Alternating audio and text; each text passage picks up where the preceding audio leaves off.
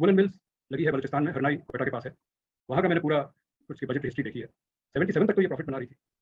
Seventy eight से loss में जाना शुरू किया। और ये अक्सर इंडस्ट्रीज़ की कहानी है।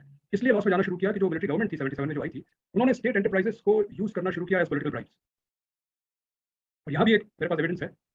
ए, एक पॉलिटिशियन जो वोटोक की अपोजिशन में था उसको जयाउल हक ने आके कहा कि ये सौ मिलियन डॉलर की लोन ले लो और चौकी में फैक्ट्री लगा लो। उसने कहा कि हमारी साथ कुछ तो कारोबार नहीं किया मैं क्या करूँगा इसको लेके? मैं तो नहीं लगा सकता और वापस कैसे करूँगा? तो जया उसको कहता है वापस मांग रहा हूँ आपसे। जो बैंक डिफ़ॉल्ट का कल्चर जयाउल ने इंट्रोड्यूस किया। उसमें जाने लगी 1978 से। इसमें हरनाई वुलन मिल्स लगी है बलूचिस्तान में हरनाई कोयटा के पास है।